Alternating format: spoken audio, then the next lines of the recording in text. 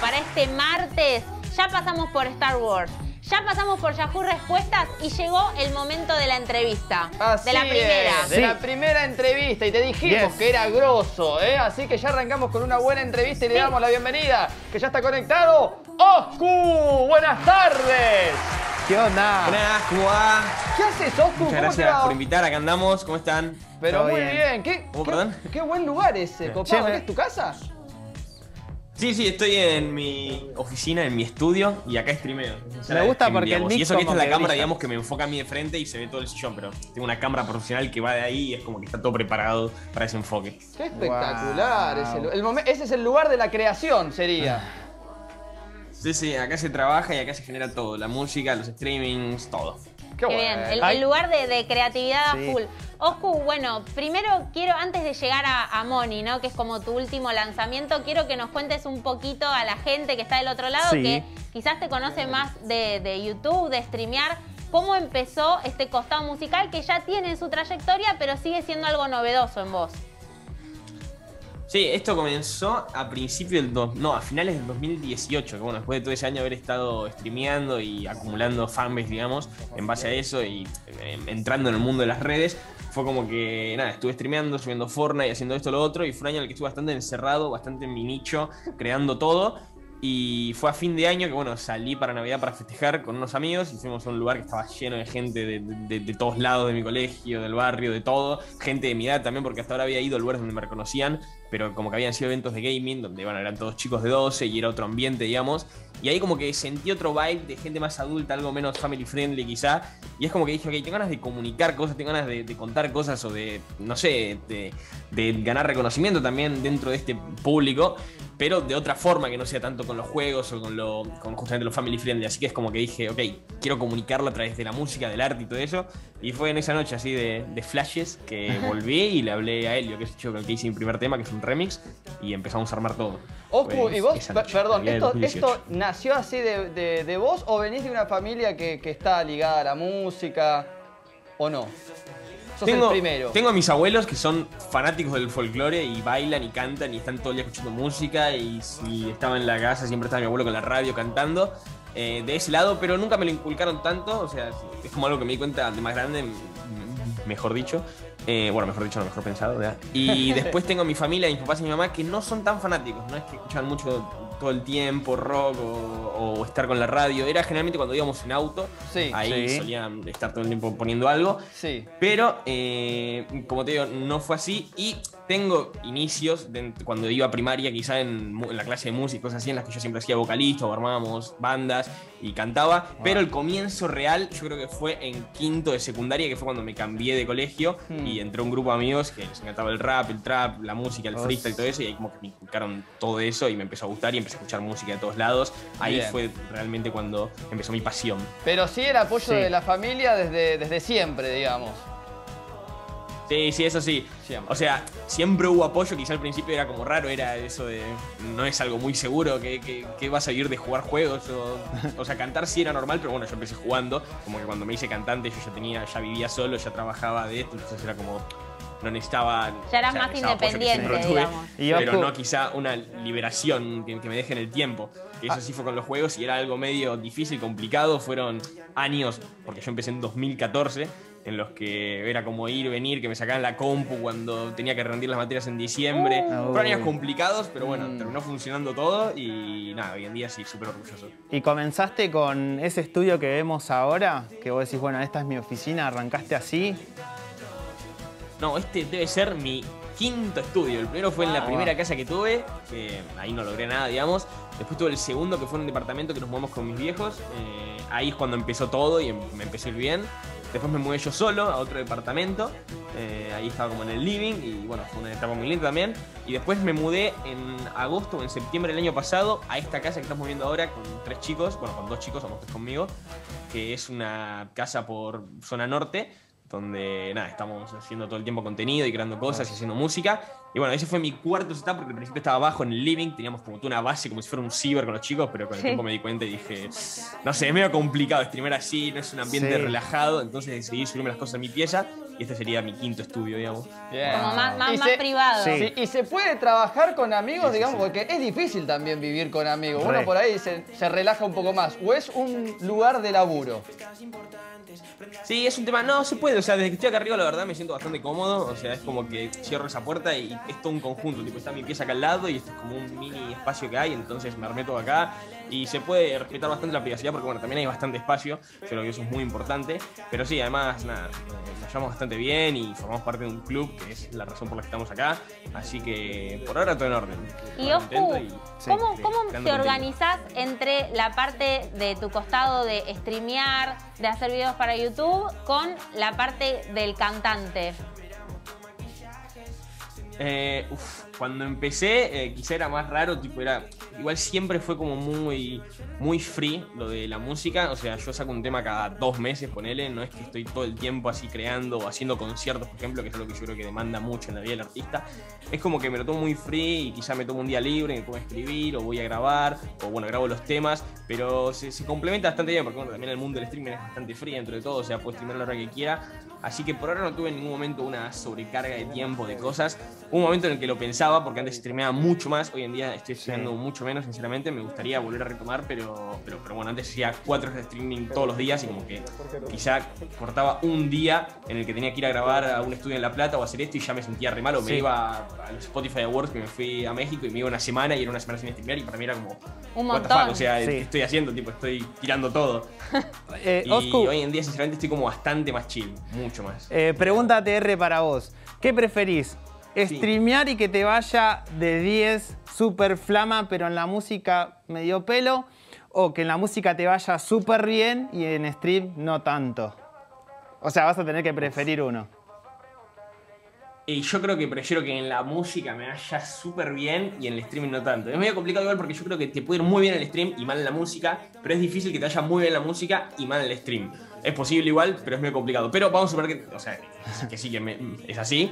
Eh, yo creo que prefiero que me vaya muy bien en la música porque que te vaya muy bien en el streaming está muy bueno, pero creo que las perspectivas, o sea, el mejor streamer con más diferencia puede ser Rubius o Ibai de España y el mejor a nivel artista puede ser Justin Bieber, o sea, y es como Claro. que creo que el mundo de, de- de la música y del arte está como muchísimo más desarrollado, eh, claramente es por el tiempo que lleva y todo eso, pero preferiría eso. Ahora, también tiene sus pros y sus contras, o sea, la música es como Sí. muy, muy incierto, digamos, saber lo que estás haciendo y dependés mucho de tu arte, de lo que haces vos. En cambio, el streaming es como, primero, hay una rutina, es como, al- es más seguro dentro de todo, aunque es Sí. bastante artístico y no es como lo que tenga el piso más formado.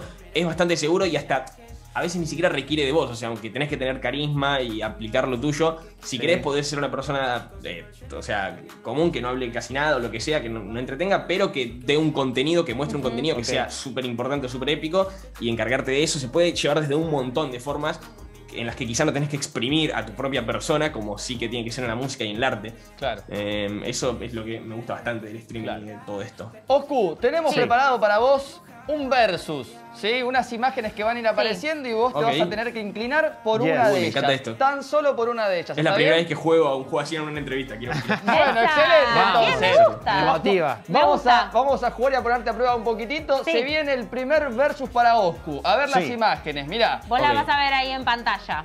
Tengo que elegir. Tenés, Vos que, tenés que elegir. elegir. Sí. Vamos con la primera imagen. que Mira, ahí tenemos, tenemos una sesión con el Visa o viajar al espacio que por ahí escuché Oh. que era como uno de tus sueños. Y está bueno, sí, o sea, era, o sea, es un sueño, pero siento que cada vez es como más cercano, entonces como que cada vez se va desvaneciendo más. Quizá cuando era chico las más lejano. Pero yo creo que podría elegir el espacio. Si me lo das ya, ahora mismo, Sí, ya. hoy o en Sí, este año, hoy. elijo el espacio. El espacio. Listo, el Ahora, si me decís que puedo viajar en 20 años, te digo lo del visa, porque yo creo que en 20 años ya van a haber clases turistas y lo va a poder hacer todo el mundo. Sí, es verdad. Wow. Tenemos el otro versus. Bien, se va al espacio Vamos. entonces, ¿eh? Sí. A ver, otra, las otras imágenes. Ahí está. aparecieron. Ahí apareció Uy. una. Te tenés que quedar con uno de estos. O no comes nunca más sushi, O ensalada de sushi. la ensalada de sushi, pero llegás a las 60 millones de reproducciones. Pero no puedes comer más. ¿Cómo, cómo? O sea, no como nunca más sushi, pero llego a 60 millones de reproducciones en un tema. Sí. Sí. Sí. Uf, no, creo que prefiero, o sea, pensé que iban a hacer elegir entre YouTube para siempre, pero creo Ah, que no, entre no. 60 o el sushi prefiero seguir comiendo sushi. Yo creo que con el tiempo y con trabajo se puede llegar a los 60 Es millones. más, Vamos. pará, porque Y yo... no, no sería como mi máximo. No, Claro, o no puede llegar nunca más a los 60 última millones. puede llegar a 70 él comiendo sushi tranquilo. Claro, es verdad, también. Podría llegar a ser. Perfecto. buscó las letras chicas al el- juego. Nos quedamos con el sushi, entonces vamos con el próximo versus. A ver, Ok. si nos aparecen A ver, imágenes. aparece. ¿Aparece? Sí, Ahí apareció. está. Bueno, dos de tus juegos clásicos, eh, prácticamente Sí, con sí. los que te hiciste, eh, y uno de los dos no lo jugás nunca, jamás de los jamases. Uh. No volvés. Fortnite. Fortnite, ok. O sea, prefiero no jugar Fortnite. Ah, no jugar Minecraft. Fortnite. Oh, Bien, perfecto. Muy, Bien. Sigo jugando Minecraft, sí. wow. muy fanático de, lo- de los juegos. ¿Seguís siendo? Y ahora, o sea, creo que siempre lo voy a hacer, siempre habrá alguno que me vicie, pero es como por etapas. Eh, ahora mismo, justamente vengo hace unos meses en un, en- en, no sé, en un estado en el que no tengo ningún juego que me atraiga o que me dé las ganas de viciarlo. Tipo, no encuentro nada nuevo o no sé, entonces estoy como muy, me, no estoy jugando. Que son cosas que me pasaban antes cuando era chico. Hay gente que dice, Sí. o sea, como que lo pregunto y me dice, no, es por la edad. Y yo digo, "Nah, no tiene nada que ver. O sea, a mí me pasó de chico un montón de veces, con la diferencia de que antes dejaba de jugar durante un año entero y listo. Y si se hacía mi vida normal y de la nada salía un juego, me viciaba y lo jugaba. Ahora trabajo de esto, entonces tengo que estar como forzándome. Claro. y Claro, no es natural. buscar cosas nuevas. Eso Pero sí. no, si ahora estoy como a la espera de que salga algo que la rompa y que. Excelente. Y al que puedas dedicar varias horas. Oscu, bueno, ahora sí. Sí. llegando al presente, saliendo de la fantasía del versus. Contanos sobre Moni, cómo nació, hace cuánto que tenés ese tema ahí en producción dando vueltas y cómo fue la recibida de la gente. Ok, Money lo habré hecho más o menos en octubre, pero el estribillo, la primera parte, tipo, ve, llenemos dos valijas de Money, vamos a Europa a comprar ropa de Tommy. Tipo, a mí me pasa mucho que me estoy bañando o estoy haciendo cualquier cosa y tiro así una rima o se me ocurre un verso o algo y digo, uff, o sea, esto me gusta. Entonces ahí agarro el WhatsApp y me lo grabo en audio más o menos con el tiempo que me lo imagino y lo dejo ahí. Y fue más o menos en febrero que dije, ok, tengo que hacer el próximo tema. Me acordé de este, de este audio que había hecho y dije, che, me parece que es para acá, me parece que esto es lo próximo eh, que quiero hacer. Así que me, me puse ese audio, se lo mandé a mi productor y le dije, mira, esto me lo imagino más o menos con este beat, con este tiempo, con estos sonidos, etcétera, tratando de Wow. expresarme como puedo porque no soy productor. Entonces como que hay mucha, mucho- muchos tecnicismos que no me lo sé muy bien. Sí. Pero bueno, le pasé todo y en base a ese estribillo empezamos a armar todo. Después, con esa raíz, empecé a escribir y a desarrollar y a tratar tenga un contexto de viajes, de, de glamour, digamos, y a preparar todo. Y la verdad, bastante feliz con, el, con, con cómo va la cosa. Busco la cosa, Pero Bueno. sí, muy feliz. Eh, está hace una semana ahí saliendo. eh, tiene una particularidad y es que va subiendo dentro de todo, no es como que crece un montón y después se estanca, que es como lo que pasa con muchos temas, sino que sube y ahora como que sigue subiendo con el tiempo. Eso es importante. Así que nada, bastante contento y más allá de eso es una obra que va a quedar ahí y un- uno de mis temas favoritos. Y Excelente. Oscu, ¿cómo fue también la parte del video? Porque está medio como grabado, como si fuese en una especie de plano secuencia, como si fuese todo seguido, distintas escenas. ¿Cómo fue grabar eso? Claro. ¿Tu- ¿Hubo errores así que Sí. uy, no hay que volver a empezar? ¿Cómo fue la grabación? Sí, sí, eso, lleno de esas cosas. Fue la primera vez que tuve que hacer algo así, en lo que tuve que actuar justamente, o sea, seguir un rol. La idea sí fue como un plano secuencia, pero bueno, claramente no todo continuo, pero es la primera vez que hice algo así. Siempre hasta ahora venía haciendo videos en los que, bueno, no dijeron nada, tiene como un poco al principio, pero después como que ya es todo mezcla y se desarrolla. Esta fue la primera vez en la que, excepto el estribillo, que estaba planeado que sea así, no hay, no hay un momento en el que se hizo, eh, acá queda vacío, vamos a meter una toma al principio y acá mezclamos todo y termina siendo yo rapeando a la cámara con distintos movimientos y tirando facha. O sea, es como que había una historia, un guion, tenía que hacer la misma toma Wow. de 10 segundos 20 veces y ir grabando parte por parte. La verdad que bastante contento. Siempre quise que haya esa organización porque a mí me da mucha flojera, vamos a decirle, grabar 3 minutos con todo un fondo, 3 minutos con otro fondo, 3 minutos con otro fondo y pensar mientras lo hago, para pensar que la mayoría de esto no sirve, porque no usar una parte de este o una parte del otro. Y no, me encanta hacer una parte exacta de, de un momento y repetirla hasta que salga bien. Y fue bastante divertido, o sea, Y, repetimos las tomas muchas veces y cada vez que la, la repetía, digamos, me la aprendía más y cada vez salía mejor. Y nada, estuvo muy bueno el trabajo también que hicimos con el director, porque él estaba como muy atento a las cámaras y a que salgan todos los colores bien, y yo estaba atento a mí y a los movimientos, así que bastante feliz. Bien, ¿hiciste algún taller de actuación o pura actitud?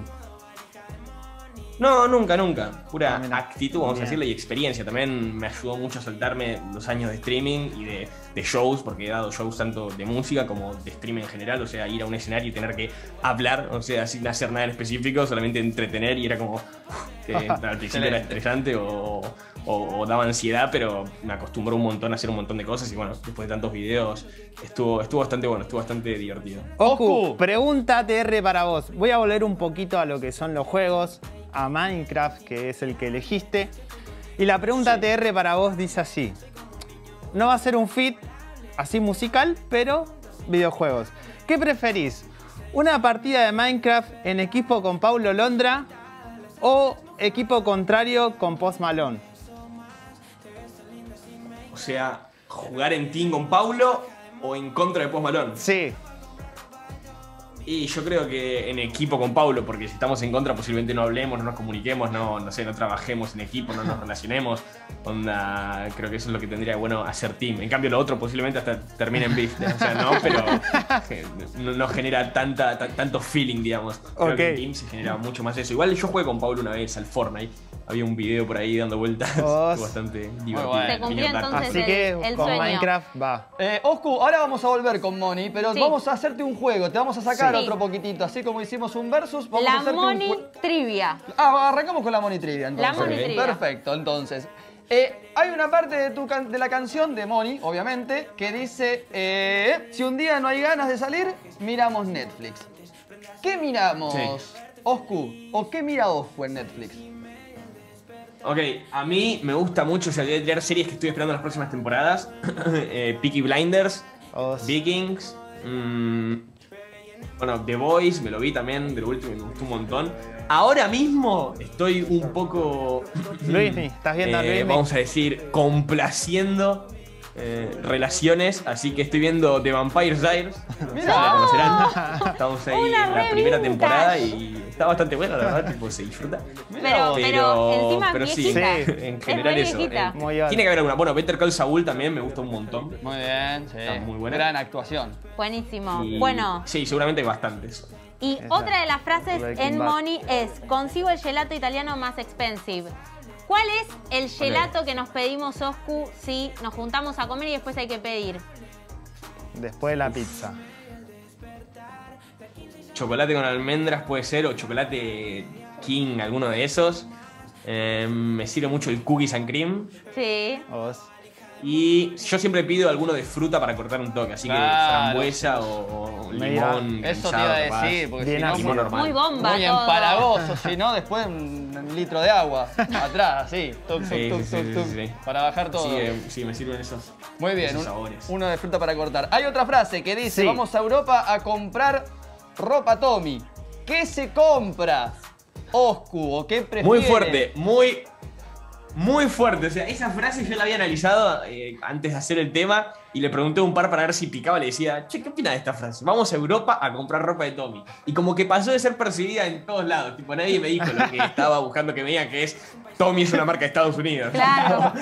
Pero, pero igualmente, o sea, siento que tiene su esencia porque es como varias cosas. Primero es como que vas a despilfarrar plata, tipo vas a un lugar. Además busqué y hay fábricas de Tommy en Europa. Claro. así que sí se podría. Cerró. Pero bueno, también es como, no sé, vas a despilfarrar y a comprar cualquier cosa en cualquier lado. Obvio. Que también al fin y al cabo, no sé, también creo mucho en que todo es mundial, digamos. O sea, no sé, en algún momento va a ser una marca del mundo, no de Estados Unidos en específico, pero... ¿Pero qué eh, compraría Oscu? Sí, ¿Qué- ¿qué cuál es- compraría? ¿Con qué prenda te quedas? ¿Con ¿Qué? qué- Ah, ok, ok, ok, qué- sí, sí, no, me- me perdí en la- en las no, ramas. No, está bien, igual, está buena Está bien la explicación. Está bien la explicación a la frase, pero ¿qué es eso? ¿Qué, qué debilidad tenés? ¿Por, por qué prenda? Y creo que, o sea, el 90% de mis boxers son Tommy. Ahí está. Para empezar, así que yo creo que eso podría ser. Y después prendas, tampoco soy muy fanático en general de, no sé, pantalones o zapatillas que seguramente deben vender. Alguna remera capaz, eh, tengo algunas, eh, bueno, tengo bastantes, pero tengo algunas que me gustan mucho. Y campera también, una de Tommy que me, me fascina, una negra con el lobito chiquito. ¿Sí? Así que posiblemente alguna campera, pero lo más importante, boxers. Te, digo que perfecto. me- te- estaría bueno Bien. como que consiga directamente ya auspiciante con Money de, Sí, sí. de Tommy. Sí, Sí, sí. Re. Eh, sí, sponsor, sería épico Decilo, que me manden ahí una caja. estabas para buscando Si algún- sponsorear a Tommy, decilo, confesalo. Sí, sí, sí, si algún empresario por acá de Ah. Tommy está viendo, ya sabe mi Claro. mail. Que empiece a mandar, que, Reca- un calzón para mío que. tenemos otra la frase, la, última de la Moni Trivia, que es: Tengo un pasaje directo a. Vos en la canción decís Madrid, pero yo te quiero preguntar, sacando a Madrid, ¿a dónde le gustaría a Oscu tener un pasaje directo? Hoy, Hoy. ya te va. Ya, ahora. Ok, eh, yo creo que Estados Unidos me iría. Sí, sería un lugar bastante interesante para estar y desarrollar cosas y seguir haciendo un montón de cosas. Fuera de eso, a nivel turismo, que iría una semana o dos y listo, pero porque me interesa conocer y me intriga, Japón. Sería interesante Mira, viajar oh, y conocer. La de cultura. Y pelear con pero, Godzilla. pero- sí, pero no es un lugar donde desarrollaría nada. Tipo, en Estados Unidos estoy seguro de que llego y, no sé, estaría divertido, podría hacer bastantes cosas y entretenerme de muchas formas. Wow. De, de streamear ahí, andar, Sí. andar transmitiendo y, Y te- por qué no también Sí, un videoclip. Te tranquilamente, hacer temas. Oscu, ¿te verías cosa. con un outfit así japonés por las, por las calles? Uf, eh, y podría usarlo. Alguna prenda. En Asia hay bastante moda, tipo, son muy buenos con eso. Pero bueno, en Japón en específico no sé si tanto. Tipo, yo creo que es más en China y en Corea. Ok. Pero.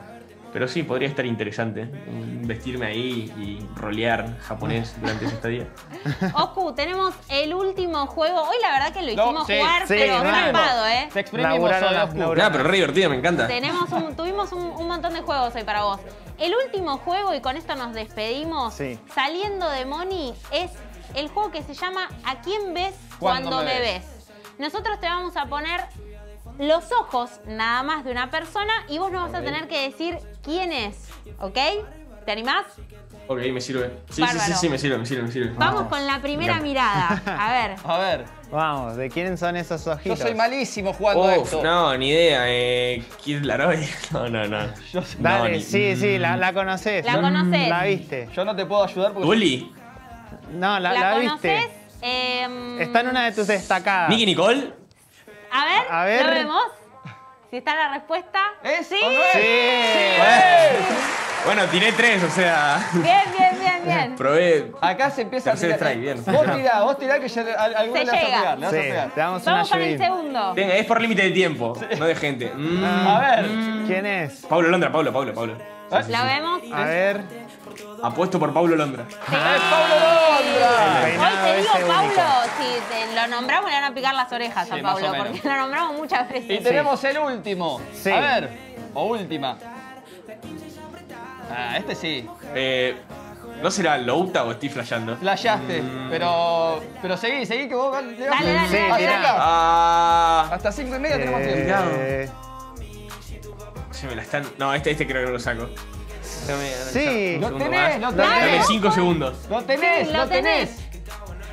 Oscu. No, sa- no, ¿sabés quién es? ¿Lo tenés jugando ¿Sabés contra el quién es? Madrid? No es un artista musical, Claro. es de otra profesión. Es un artista, pero con, Esi. con la pelota. A ver. Sí, señores. Era obvio, tipo, qué bueno que soy en esto. Es mi talento, o sea, soy perito. Excelente. Bueno, ahora sí, Oscu. La Sí, verdad es que ya está. M- más cosas, más No, juegos. más juegos ten- no hay. No tenemos No, más no. juegos. Lo, lo- Yo- lo exprimimos le- un montón.